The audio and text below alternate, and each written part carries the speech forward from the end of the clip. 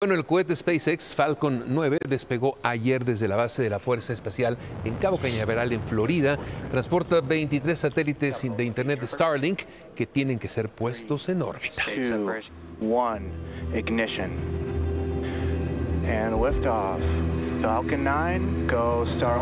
And